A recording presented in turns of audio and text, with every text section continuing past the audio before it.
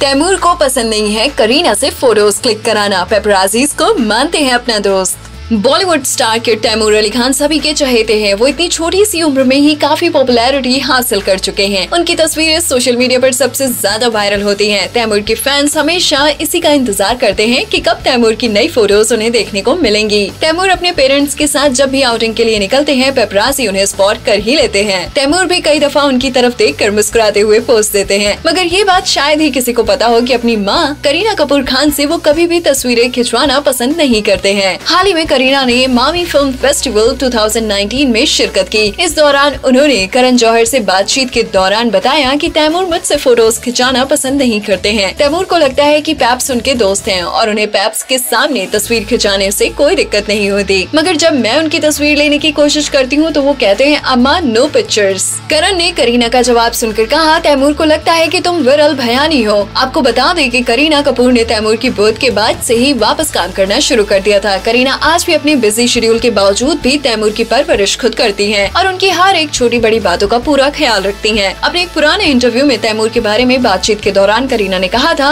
माँ होने ऐसी बड़ा इस दुनिया में मेरे लिए कुछ भी नहीं है तैमूर मेरी लाइफ का हिस्सा है और मैं एक घंटे के लिए भी उसके बिना नहीं रह पाती हूँ मैं जहाँ भी जाती हूँ वो मेरे साथ हमेशा रहते हैं वो मेरी एक इंस्पिरेशन है